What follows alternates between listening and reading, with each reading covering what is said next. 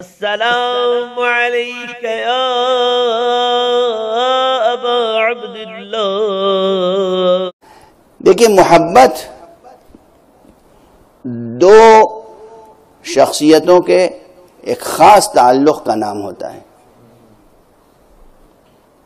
जिस्मानी ताल्लुक़ नहीं रूह से रूह का ताल्लुक़ वजूद से वजूद का ताल्लुक़ रिश्ता। और रिश्ते की मिसाल समझने के लिए पहले मादी मिसाल समझ लीजिए।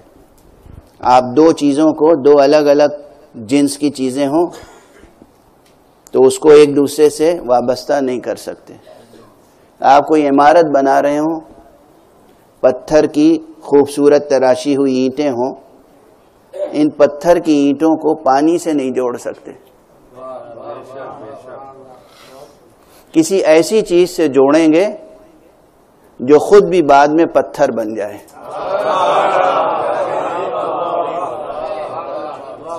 बर्फ़ हमारे यहाँ अब पानी जमेगा तो बर्फ़ तो बन जाएगा पत्थर नहीं बन सकेगा। तो अब ये ये सब जुमले ज़ाहिर है कि हर कलेमे में एक इस्ताराती सतह है। तो पानी से पत्थर की ईंटें नहीं जोड़ सकते आप। ऐसे मसाले से जोड़ेंगे, सीमेंट हो, कोई और चीज़ हो, जिससे, जो खुद उससे, उसी जैसी हो।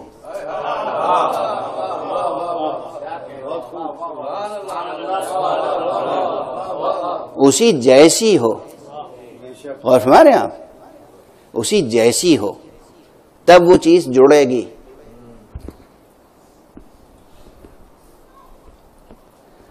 अब ज़रा सा तकलीफ़ दे जुमला कह दूँ। ऐसा जुमला जो दिलों में, जिगर में पेवस्त हो जाए। आजकल हम देखते हैं कि लोगों का ताल्लुक इंसानों से ज़्यादा माँ बाप से ज़्यादा, कुत्तों से है। माँ बाप बूढ़े हैं। उनका हाथ पकड़ के रोज़ाना बाग में ले जाके सैर करा दें, ये मुमकिन नहीं है।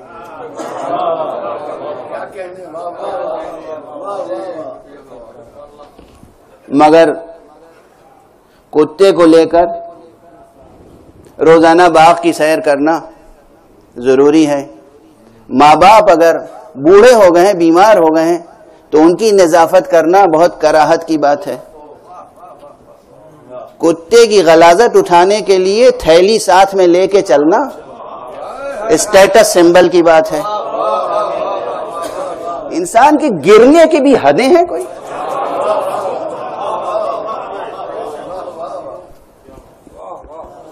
दुनिया में जो बड़े तरक्की याफ्ता ममालिक हैं, वहाँ क्या आप कुत्ता लेके चलिए, मगर साथ में थैली लेके चलिए?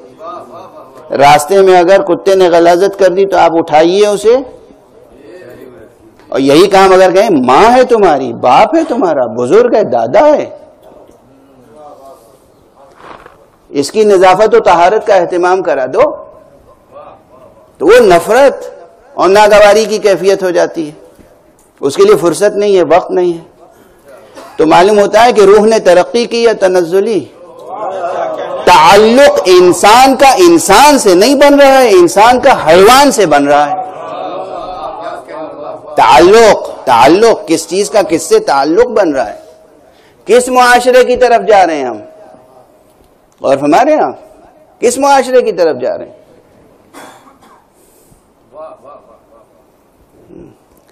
अब चूँकि मैं खतीब नहीं हूँ ना तो ये जो जुमला कह के रस्मन गुजर नहीं जाता।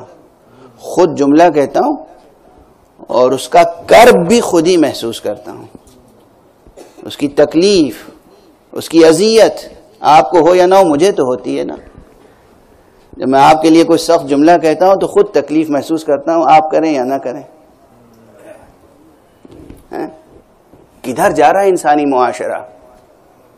दीन खुदा को छोड़ के अकदार इंसानी को छोड़ के अकदार इलाहिया को छोड़कर, अकदार मोहम्मद वाले मोहम्मद को छोड़कर, तहजीब मोहम्मद वाले मोहम्मद को छोड़कर, इधर जा रहा है मुआशरा। नूर की तरफ़ या जुल्मतों की तरफ़?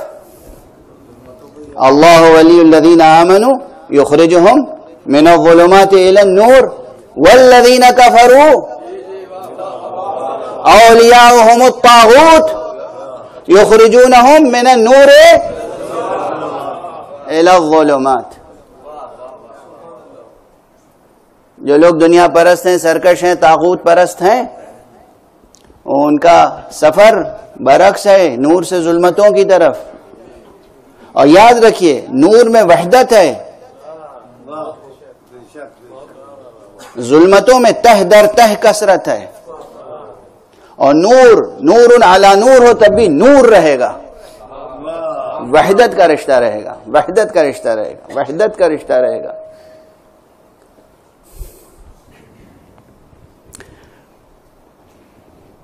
तो ये बात जहन नशीन कर लें कि दो चीज़ें जब एक दूसरे से मिलाई जाती हैं तो उनमें यकसानियत होनी चाहिए। उसे इल्मी जबान में कहते हैं सिनखियत, एक जैसी हो, एक जिन्स से हो। अल्लाह तो एब्स्ट्रैक्ट है। और अल्लाह से हम जैसे बंदों का रिश्ता किस चीज़ से कायम होता है?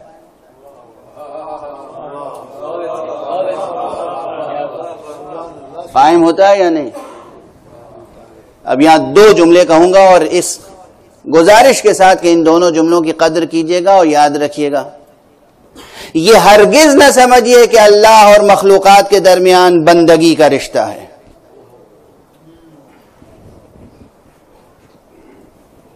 अल्लाह ने अपने और अपने इन बंदों के दरमियान, अपने और अपने बंदों के दरमियान रिश्ता बंदगी का नहीं रखा है, रिश्ता मोहब्बत का रखा है।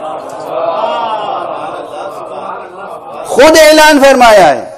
इताहत मुस्तफ़ा की तरफ़ जब बुलाया है तो किस हवाले से?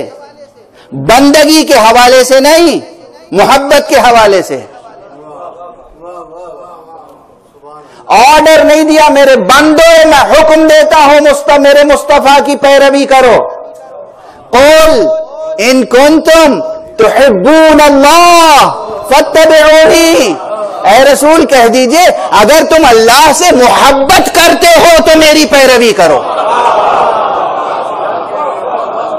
बुनियाद इतात मुस्तफ़ा, बंदगी और गुलामी नहीं, मोहब्बत और इश्क इलाही है।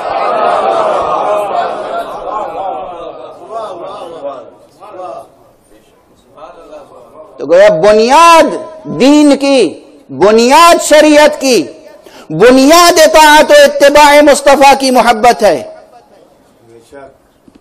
तो जो चीज़ दी है, वही चीज़ मांगी है।